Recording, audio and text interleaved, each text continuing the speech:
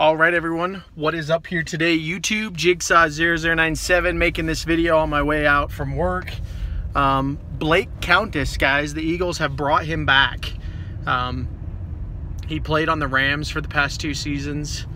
Um, and he's a really good special teams player. The Eagles actually the ones that drafted him, I think, in the sixth round of the 2016 draft.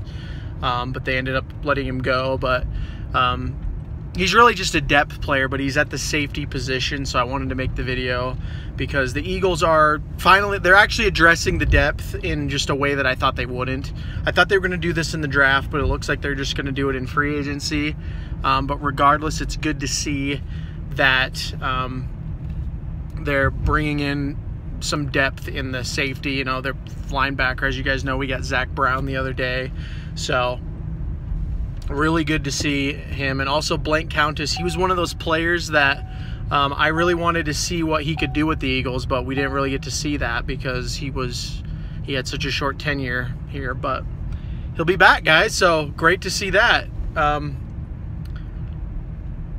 yeah, that's really all I have to say. Sorry, I wish I had more in this video, but I just wanted to, to bring you that news. Um, and then ask you guys what you guys think about that. Start the discussion down below.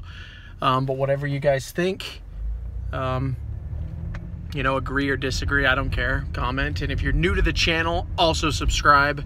Um, but to all my returning viewers, thank you so much for watching. This has been Jigsaw0097. I will talk to you all later.